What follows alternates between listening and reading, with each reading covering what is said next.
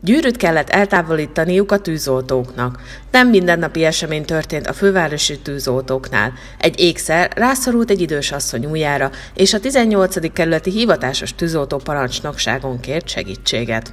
Az első pillanatban látszott, hogy az ékszer veszélyesen rászorult a hölgy ujjára. A tűzoltók egy speciális csiszoló-vágó kisgép segítségével sikeresen eltávolították ehhez hasonló beavatkozásokat már többször végeztek a tűzoltók. Az olyan esetekben, amikor a gyűrű veszélyesen rászorul viselője ujjára, az ékszer eltávolítása halaszthatatlan.